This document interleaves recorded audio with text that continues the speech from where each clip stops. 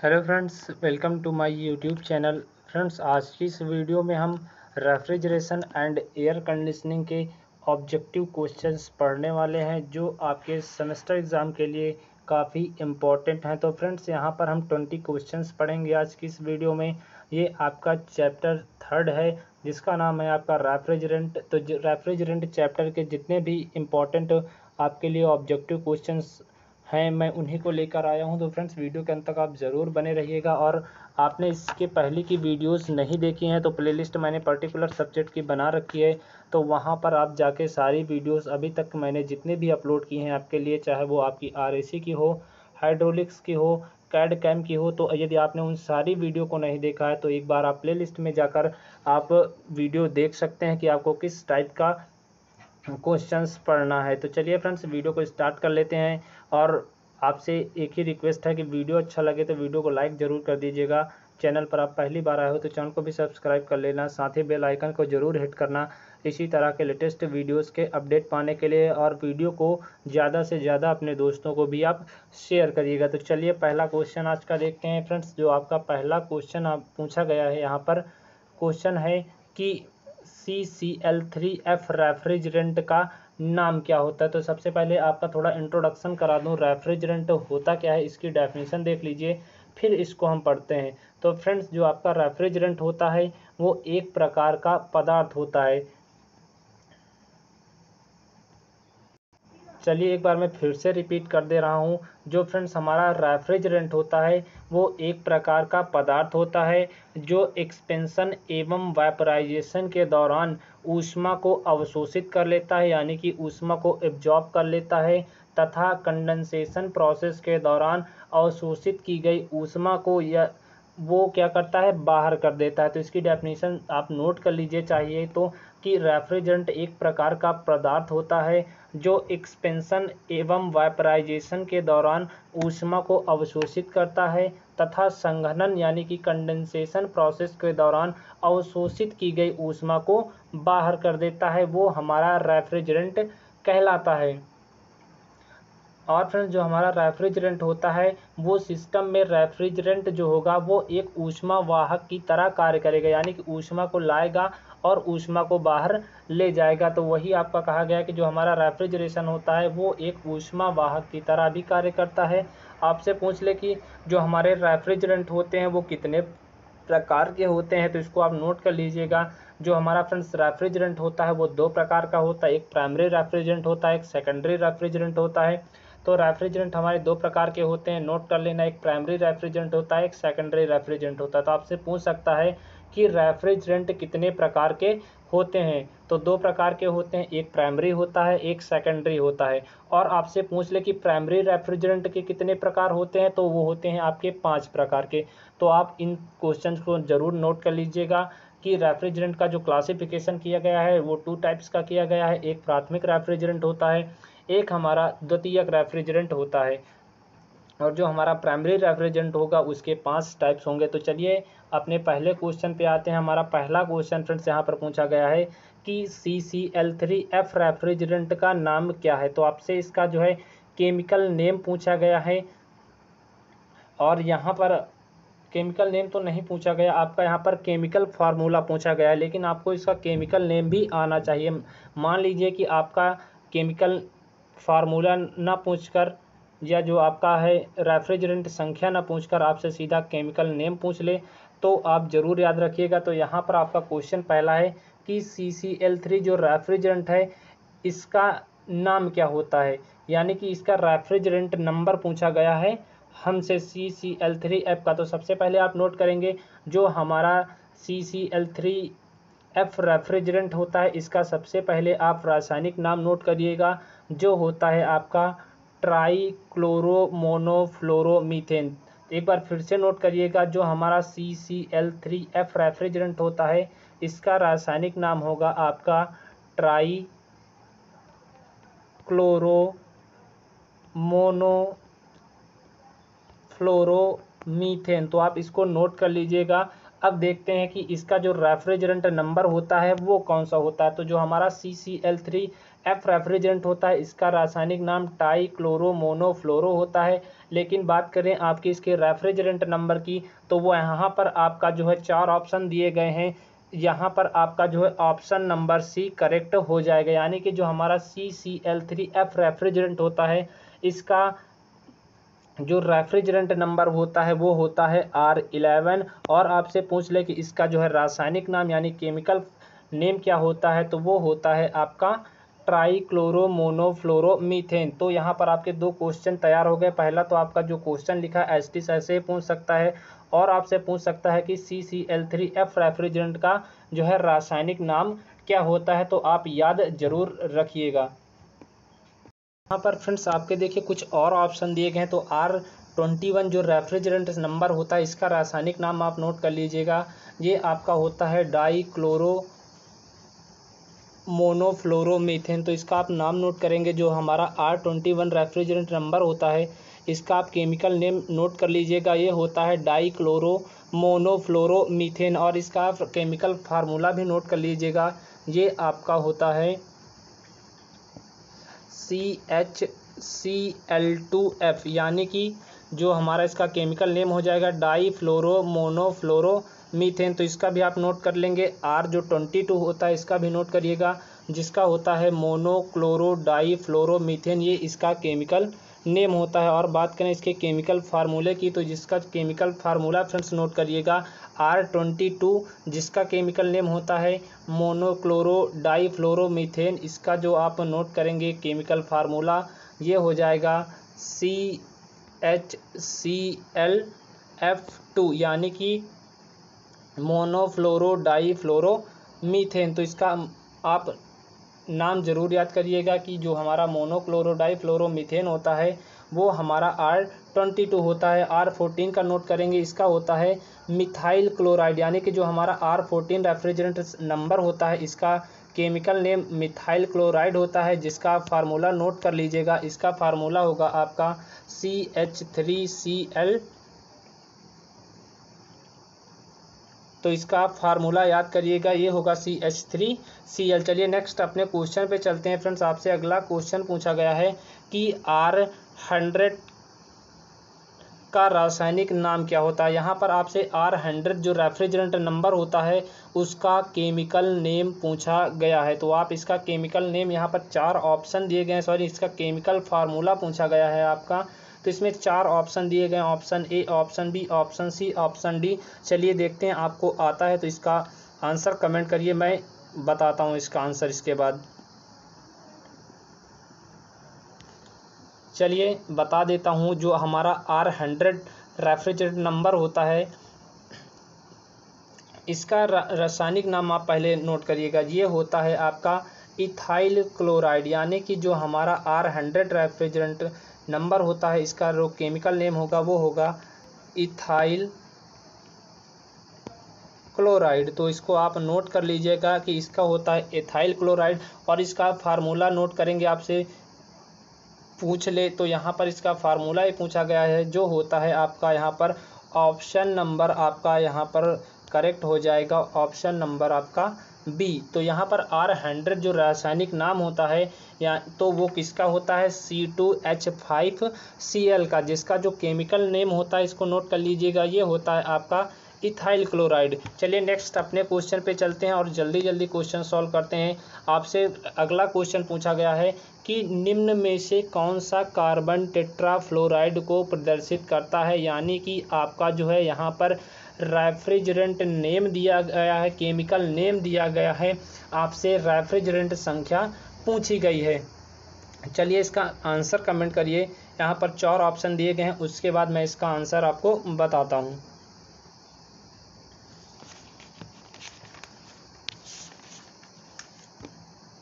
चलिए मैं इसका ऑप्शन बता देता हूँ आपको। यहाँ पर देखिए, इसका केमिकल नेम भी दिया गया है और रेफ्रिजरेंट नंबर भी आपको दिया गया है। तो कन्फ्यूज़ करने के लिए आपको दोनों ऑप्शन दिए गए हैं। तो दोनों ही करेक्ट हैं। चलिए इसका ऑप्शन देख लेते हैं। आपसे पूछा गया है कि कार्बन टेट्राफ्लोराइड को प्रदर्शित करता है कौन? ये आपका सी एफ़ फोर प्रदर्शित करता है, जिसका नाम है आपका यहाँ पर C four C F four का कार्बन टेट्राफ्लोराइड और ये जो कार्बन टेट्राफ्लोराइड होता है, उसका जो रेफ्रिजरेंट नंबर होता है, वो होता है आर फोर्टीन यानी कि यहाँ पर ऑप्शन ए और बी दोनों करेक्ट हो जाएगा। आपसे पूछा गया है कि कार्बन टेट्राफ्लोराइड को कौन बताता है? तो ये आपका सी एफ़ फोर होता है। आपसे पूछ ले कि कार्बन टेट्राफ्लोराइड का जो है रेफ्रिजरेंट नंबर कौन सा होता है? तो आपका आर फोर्टीन होता है। तो ये दोनों आपके कार्बन टेट्राफ्लोराइड को प्रदर्शित करते हैं। इसीलिए आपका यहाँ पर का जो ऑप्शन सी होगा, वो करेक्ट हो जाएगा। चलिए नेक्स्ट क्वेश्चन पे फ्रेंड्स आपके चलते हैं।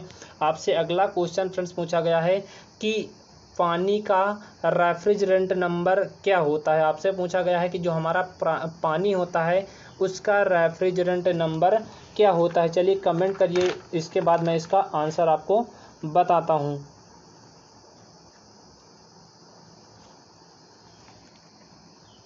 चलिए इसका आंसर देख लेते हैं। जो हमारा फ्रेंड्स पानी का रेफ्रिजरेंट नंबर होगा, वो होगा आर सात सौ अट्ठारह यानी कि ऑप्शन ए हमारा यहाँ पर करेक्ट ऑप्शन आंसर हो जाएगा।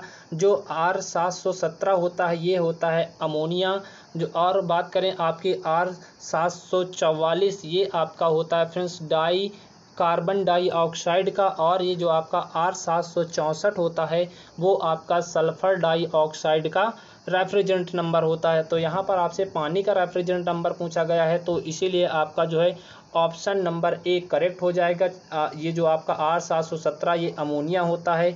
आर सात सौ चवालीस, ये आपका कार्बन डाइऑक्साइड होता है और ये आर सात सौ चौंसठ, ये आपका सल्फ़र डाइऑक्साइड होता है तो नोट कर लीजिएगा। चलिए अपने नेक्स्ट क्वेश्चन पे चलते हैं।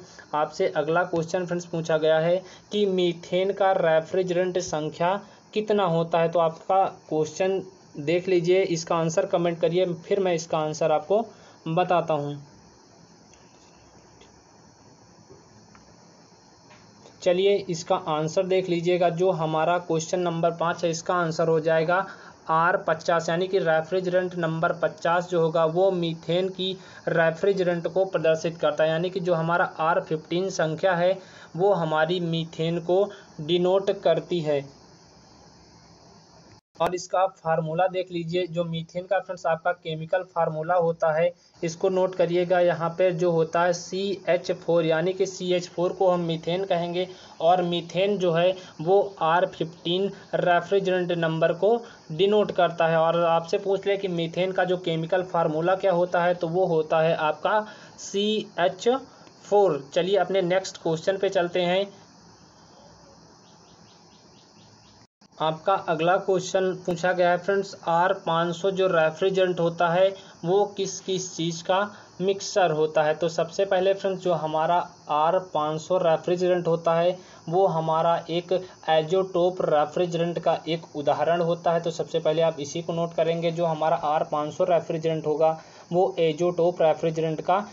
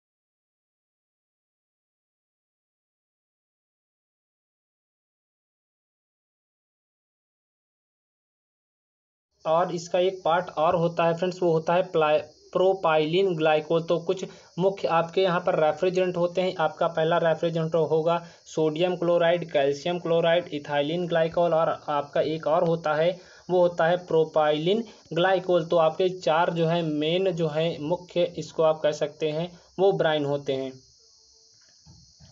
और फ्रेंड्स, आपसे पूछ ले कि ब्राइन है क्या? तो ब्राइन जो है एक प्रकार का मिक्सचर होता है, जिसमें पानी में उपरयुक्त मात्रा में नमक को घुला, घुलाया जाता है, यानी कि पानी और नमक का जो उपरयुक्त मिक्सचर होता है वो ब्राइन कहलाता है। और आपसे पूछ ले ब्राइन क्या है तो ब्राइन एक प्रकार का मिक्सचर होता है और ब्राइन पूछ ले कितने प्रकार के मुख्य होते हैं तो चार प्रकार के होते हैं sodium glyco chloride ethylene glycol और कैल्शियम क्लोराइड होते तो बहुत सारे हैं, लेकिन आपके जो मेन होते हैं, वो होते हैं चार और एक आपका होता है प्रोपाइलिन ग्लाइकोल चलिए नेक्स्ट क्वेश्चन पे चलते हैं। आपसे फ्रेंड्स पूछा गया है कि मीथेन के आधार पर रेफ्रिजरेंट संख्या क्या होती है? क्वेश्चन इंपॉर्टेंट है, आपसे पूछा गया है फ्रेंड्स कि मीथेन के आधार पर रेफ्रिजरेंट संख्या क्या होगी? ऑप्शन आपके चार दिए गए हैं कमेंट कर कर आप बताइए। यहाँ पर कमेंट करिए। तो फ्रेंड्स जो आपका क्वेश्चन नंबर दस है, इसका आंसर हो जाएगा। ऑप्शन नंबर आपका बी करेक्ट आंसर हो जाएगा कि मीथेन के आधार पर रेफ्रिजरेंट संख्या कितनी होती है, वो आपकी होती है दो। चलिए नेक्स्ट क्वेश्चन पे चलते हैं फ्रेंड्स वीडियो थोड़ा लंबा हो जाएगा। कोई बात नहीं, आप वीडियो के अंत तक ज़रूर बने रहिएगा। इंपॉर्टेंट क्वेश्चन है आपके लिए। आपसे अगला क्वेश्चन पूछा गया है फ्रेंड्स ईथेन के आधार पर रेफ्रिजरेंट संख्या कितनी होती है? तो आपसे क्वेश्चन पूछा गया है। पहले में पूछा गया था, मीथेन के आधार पर रेफ्रिजरेंट कितनी संख्या होती है? वो होती है दो। आपकी आपसे पूछा गया है कि ईथेन के आधार पर रेफ्रिजरेंट संख्या कितनी होती है? तो इसका जो आंसर हो जाएगा फ्रेंड्स क्वेश्चन नंबर ग्यारह का। वहाँ पर आपका आंसर होगा। ऑप्शन नंबर सी यानी कि ईथेन के आधार पर रेफ्रिजरेंट संख्या तीन होती है, मीथेन के आधार पर रेफ्रिजरेंट संख्या दो होती है। चलिए नेक्स्ट क्वेश्चन पे अपने चलते हैं। हमारा अगला क्वेश्चन पूछा गया है कि निम्न में से कौन सा कथन सत्य है? यानी कि कौन सा आपका जो यहाँ पर समीकरण दिया गया है, वो करेक्ट है? चलिए इसका कमेंट करिए आंसर उसके बाद इसका आंसर मैं बताता हूँ।